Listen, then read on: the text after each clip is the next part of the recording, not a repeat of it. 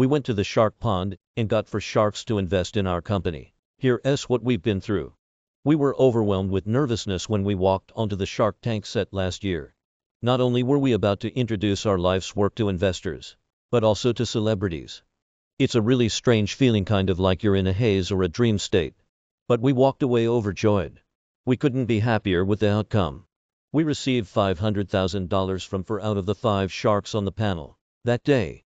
Mark Cuban, E. Amon John, Kevin O'Leary, and Peter Jones now share a 40% stake in our company. Songlorious, a custom song business that connects musicians and songwriters with people who want personalized songs for events like weddings and birthdays. At the time of shooting, our business brought in $700,000 in sales. In 2021, we're currently on pace to bring in $2.5 million. Here's what our experience was like being on the show and how it's helped our business. Ellen and I were musicians and both living in New York. We'd met online and started dating. While in New York, we offered to write a song for our friend's wedding. The couple and everyone at the wedding absolutely loved our song. And that got us thinking. We said to ourselves, hey, let's put a website together and see if we can make personalized songs as a little side business. That same night, we set up a very simple website and started taking orders. Our goal was to work on three songs a week. But we quickly became overwhelmed with the number of orders we received, and we couldn't handle it on our own. So we put up advertisements for writers on our personal Instagram accounts. Musicians would directly message us or reach out via mail. A lot of musicians needed work during the pandemic. Since then, it's safe to say that we have grown quite a bit.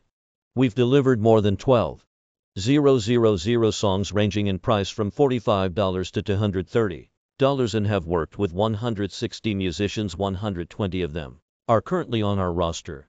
Financially, we were doing fine before songwriting. Outside of our music careers, I'm an engineer and Chess a barista. But after about three or four months we both quit our jobs to pursue this full-time it was a little scary, but we were confident in our business. We came up with the idea ourselves. But we got to a point where we realized that if we wanted to have the explosive international growth we wanted. Then we needed business-minded people like the Sharks. Ultimately, we decided Shark Tank would be a good idea for three reasons. The Sharks have diverse experiences and resources. We needed investors who could mentor us. Shark Tank has a big audience, which would help us get exposure for Songlorious. Overall, we felt like going on the show could only be a positive thing for us. It's really natural to be worried about having a bad experience on TV. But we knew we had a good business. And we were pretty confident that we would see at least some interest. We worked on drafting the pitch for four months and rehearsed it over and over and over. We read countless business articles to prepare. There's tons of free information available on the internet.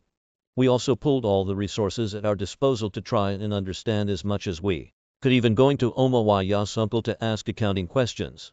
We found that most people want to share what they've learned. You just have to ask. We tried to keep our pitch to a minute and a half to two minutes long, just long enough for them to understand Songlorious without losing interest. There were about eight companies there that day, and we each got our own trailer to wait in until we were called.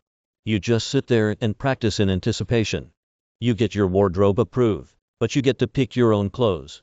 You don't get to meet the sharks beforehand.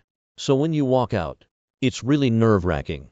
But once we got out there and started pitching, we were pretty calm. We have a lot of stage experience, especially Ellen, because she sings. We felt collected even as we performed a live song for the Sharks, which was something that helped us stand out and get their attention. The one thing we were nervous about was fielding the Sharks' questions at the end. We were out there for about 40 or 45 minutes, and most of the time was spent on questions. To prepare for that, we thoroughly memorized all of our data and made sure not to sugarcoat anything to make it sound better than it was. It was really important for us to be genuine, because we've seen people trip up on the show when they exaggerated numbers. Plus, our numbers were pretty darn good already, so there was no need to lie. We took Songlorious to a little over a million dollars in revenue in our first year, so we had to be doing something right. We're happy that four of them went in with us, the more the merrier. The shark's value is more abstract than a dollar amount. Their knowledge is now available to us, we like that their backgrounds and areas of expertise are different from one another. And we aren't worried about how much stake they have. The hardest part is that you can't tell anybody about what happened because of the show. We had to wait several weeks to tell friends and family. When we could finally talk, it felt like we told everyone we knew all at once. We were so excited.